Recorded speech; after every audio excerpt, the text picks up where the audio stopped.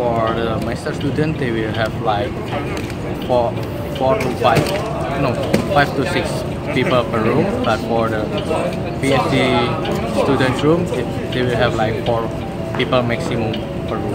Um, for the this dormitory, it will cost you around 12,000 NT dollars for six months. So it will be around 2,000 2,000 NT dollars per month.